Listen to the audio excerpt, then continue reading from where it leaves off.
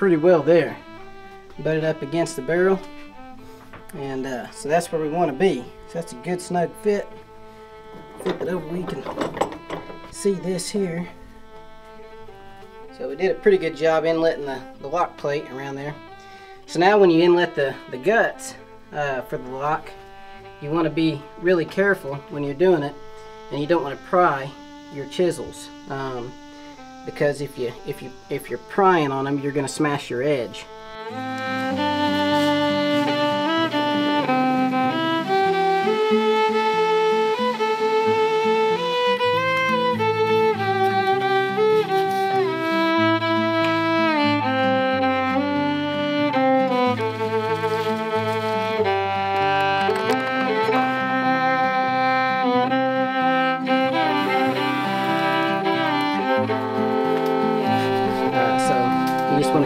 Straight in with your chisels and, and, scoop it out instead of prying on it the best you can.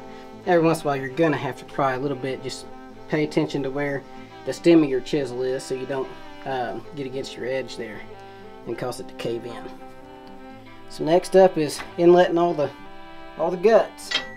Okay, so after you have your lock plate in, I like to take my pencil here and just kind of trace a, a circle right here where your tumbler goes. And then I reach in here and just put little marks where these holes are because that's where your uh, your bridle layout is. And uh, so now you can pull it back out of there. And now you can see my marks here where uh, where I'm going to place the bridle. So I'm going to take this bridle here. First you got to figure out if you're new to it you got to figure out how the bridle goes back in there. So if you put the tumbler in uh, this center hole is where you put it through this pin right here. If I can figure out how to get it. There it goes. All right, so so here's our, our top hole and here's our bottom hole right here. So I'm gonna pull this back off. If you flip the lock over, that's how it's gonna go in. It's like that. So I'm gonna take the bridle back out. I'm gonna flip it over and your little hole right here in the middle of your bridle, it goes in the center of your big circle here that you did. Your other hole up here will go on this mark right here. And then this hole up here will go on this mark here. So you just line your line your spots up here best you can. Oh, I'm sorry. Uh, this hole here goes on this bottom mark here. All right. And then I like to hold it down with a with a finger and then trace this puppy out the best I can. You don't have to be right up against that bridle. Uh, you can you can be off of it just a little bit with your with your pencil um, because uh, it's actually better to take a little bit of extra wood off. So that way it gives it a gives your parts a little bit more room to wiggle around you don't want them sloppy in there, but you want them you want them to where they'll move around and function, especially when you're out hunting and your and your stock swells uh, when it's raining or something like that. You don't want that stock to swell up around your parts and bind them to where you where your lock won't function. All right, so we're going to inlet the bridle first, and then uh, kind of a one part at a time deal.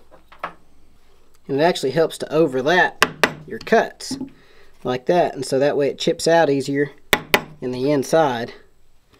It helps it come out of there a little bit easier.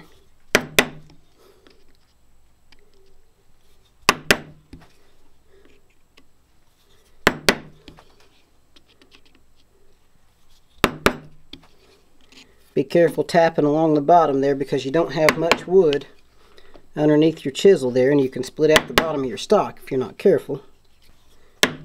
Try to go as straight down as possible you don't want to be angling in too much because you can uh, because then your bridle will still be hitting by the time you get to the bottom. So just try to stay straight up and down as you can when you peck it. And work it all the way down.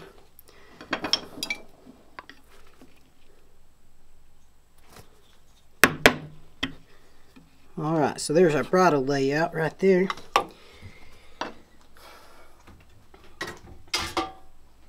You can take a, I like to take a drill. I like to drill down the middle here where my where my uh, tumbler's going to go. Best I can. I'm going to tighten this up a little bit.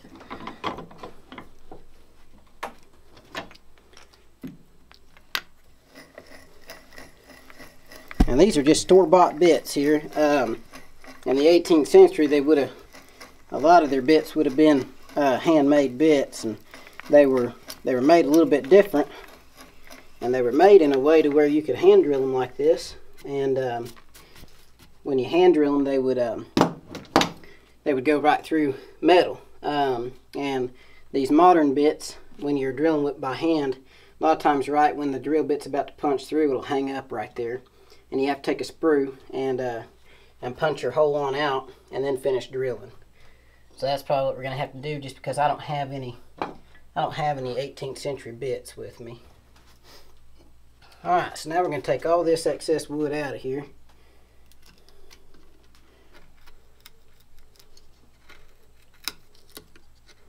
It doesn't have to be super neat because all this is going to be covered up. The main thing is, is you just want all your parts to fit and you want them to fit good.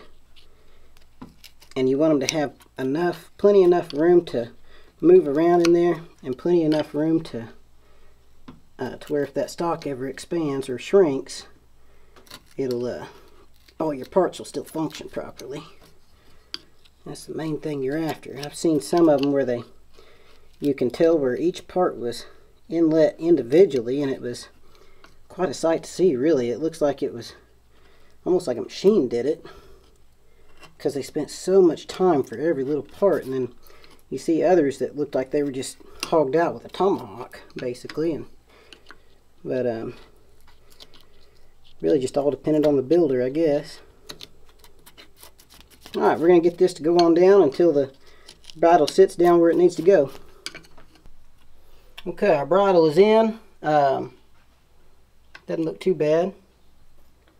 Gonna take it back out of there. And uh, I kind of assemble the lock back together as I go. So I'm gonna put the fly back in it. Uh, put the tumbler in, then put your fly back in. Uh, not every fly has a uh, yeah there. Not every fly has a has a leg on it like this if they have legs on them like that, uh, it makes it so much easier just because there's no wrong way to put it in but that. Um, others just have a hole and there's actually a stem that rises up and you and you put the you you put it on over that stem. But one bevel is different than the other bevel on the fly. And uh, so sometimes you can get it flipped backwards and you don't know if it's if it's on wrong or not until you get the lock fully assembled and you try to work and then the and then it, nothing works. Um, so then that tells you that your fly is on backwards. Um, but on these, there's no mistake. Uh, so now we're going to put the bridle back on. Go ahead and put this uh, little bolt back in here just to help hold that bridle in place. And then you just want to make sure that, so your tumbler will move on you. Uh, so you just want to kind of angle it down just a little bit like that to where about where the mainspring would be if the mainspring was let off. Um, so now I'm going to flip it over and uh, first off we're going to we're going to put some uh, soot on this thing before we put it in there and uh, that'll tell us uh, where that tumbler is hitting at so we know right where to take the wood off. Alright so now I'm going to angle that down just a little bit. I'm going to blacken all this. Alright, so then when you go to put it in here, the bridle will fit, but the tumbler won't. So now you just give it light pecks. You don't want to hit it too hard. And now you can see right there where the tumbler is hitting. So now we're going to take we're going to take some chisels here. And we're going to chisel that part out of there.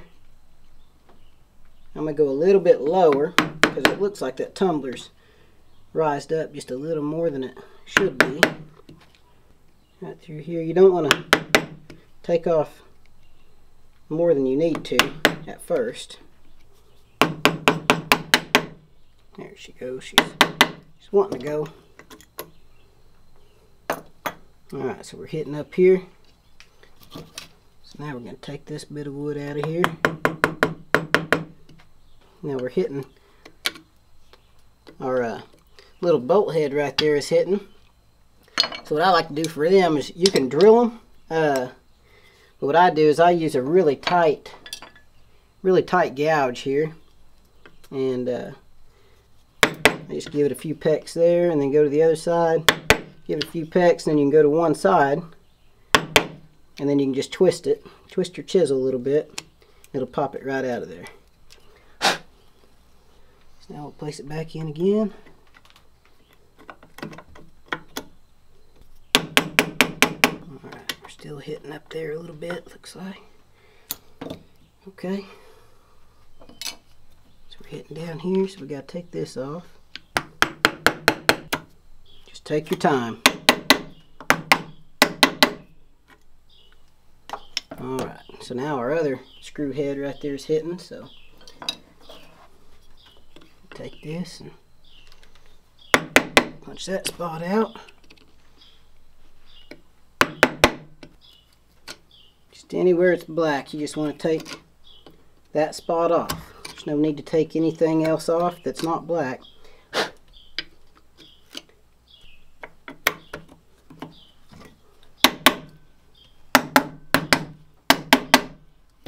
There she goes. Now I'm still hitting along the bottom and that's okay. We'll get that little bit of wood out and then that'll fit. And then the next step is your uh, is your sear and your sear spring and mainspring. You do all those at the same time. And uh, it's just a lot of chiseling from here on out, but we're getting close. After you got your parts reassembled and everything, you put it back up here. And the mainspring and your sear is going to hold it up. So you just look over the top and you line it up with your mortise the best you can from over the top and uh, doesn't have to be spot on right now but pretty close as close as you can get it I'm gonna put a mark right here where the where the sear is on the back side of the sear. So right there's where my sear is gonna go. So what I'm gonna do is I'm gonna I'm gonna change drill bits here. Actually no I'm gonna drill with this one. Uh, so you want to drill a hole here. You don't have to drill it. You can also chisel it out. Um, for me it's just easier to if I drill it so and then I come back later and I and I chisel it out. I kind of chisel it into a square uh, a square shape instead of round. And it just gives that sear a little more room in there and also your trigger. It gives them a little bit more room to wiggle around. So that way nothing binds up on you. Sometimes it seems like if you just have a a small hole here where your sear's sitting it'll your sear will actually hit and rub and uh, and your trigger can't push the push the sear up enough sometimes. So we're just going to drill a hole here first and then we're going to chisel it out in a little bit. Alright. And what you can do also is you can you can take a uh, uh, just some some type of measuring device, whatever you have, and put it up there and see how deep you got to go. So on this one, it's about 7 eighths of an inch. Um, and so what you can do next is uh, you can you can measure this to 7 eighths of an inch and you can put a piece of tape on it or or whatever you got to do. Um, so right here I know it's how deep that sear's got to be. So I'm gonna put it back in here. Now I'm almost deep enough. I'm gonna go just a little bit deeper. Right there. You want you don't want to go too deep, but you want to go deep enough where your uh, the sear's not going to rub on the bottom of your hole there. All right. So next up is you're going to take your uh, take your lock, put it back in here again. So now our sear is sitting in that hole pretty good, and uh, but the uh, the horizontal piece um, of your of your sear uh, where it where it bends to a 90 degree it's going to be hitting. Your sear spring is going to be hitting, and your mainspring is still hitting here. So what we're going to do is put it back in here where you can just kind of kind of line it up again. And the whole lock's got to shift forward a little bit. So I'm going to put a mark right here at the end of the mainspring. And I'm going to know that I got to I got to cheat forward from that about a sixteenth of an inch at least to get it to sit up there where it's supposed to go. Alright, then I'm just going to look at the spring here and I can see that most every mainspring has a bow in the bottom of it. Just a, not much, but just a little bit. So, right here is the end of my mainspring.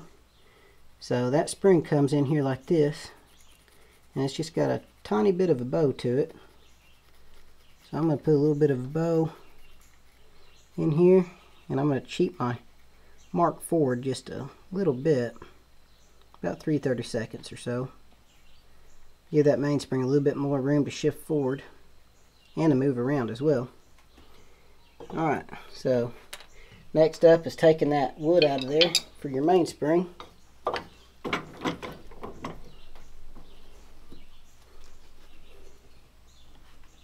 Once again, you want to be careful here.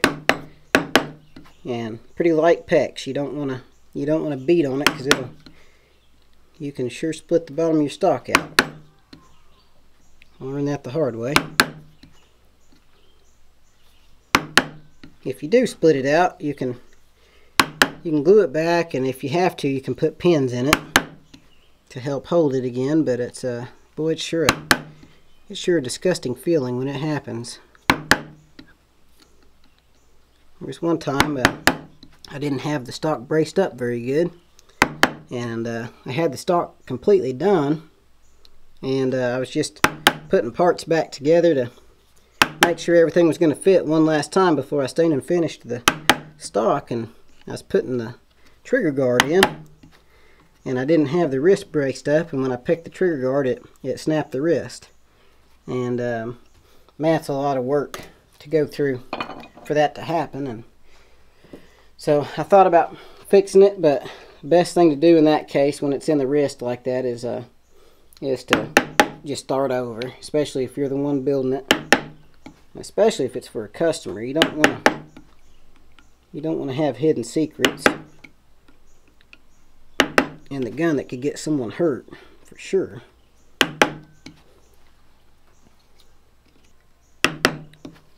Alright, and then all that wood's going to come out of there. So I'm going score a line down through here.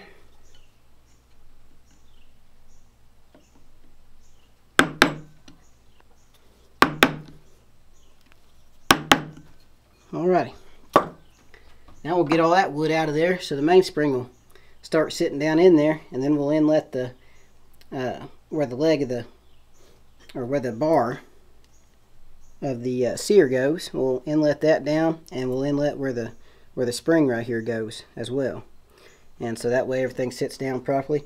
Once that is all in um, then you can put the cock back on and um, you can start uh, pulling it back just a little bit, you want to you want to blacken your mainspring up a, a, a, little bit, and then when you pull the cock back, you'll have blackness up here on the on the top edge of your mainspring, where your mainspring's rising up and hitting, and you just keep taking little bits of wood out at a time until uh, until it'll go completely to full cock and two solid clicks, uh, half cock and full cock, and uh, and then when you take it back out, you don't want to see any signs of black in there.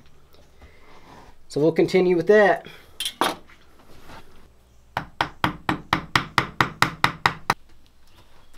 Alright, we're going to start shaping around the, the lock plate here so that way we can put the cock back on and uh, once the cock's on then we can uh, we can kind of work that just a little bit to make sure that everything's gonna gonna go where it should and, and the mainspring we can see where the mainspring's gonna hit so we're gonna go ahead and take some wood off the top here if I can get it started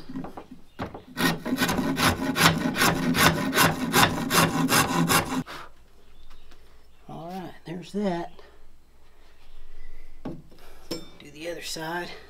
The wrist you want to leave you want to leave as much meat on the wrist for right now as you as you can. Uh, just because you're gonna do you're gonna be doing a lot of uh, beating around and stuff like that on the butt plate when you're inletting it, and uh, and also when you're taking all this excess wood off with chisels, um, you're gonna be hitting this thing a lot. Um, so you want you want to leave all that meat on there for now, and uh, when you get the butt plate on and get this, uh, get the butt itself shaped, then you can start taking wood off the wrist as you go. You just don't want to get in a hurry on the wrist right now because it'll, uh, the more wood you take off of it, the higher chance of you breaking something is. Alright, so they're shaped around the tang the way it's supposed to, and um, and then next step will be in letting the butt plate and, uh, and shaping the butt.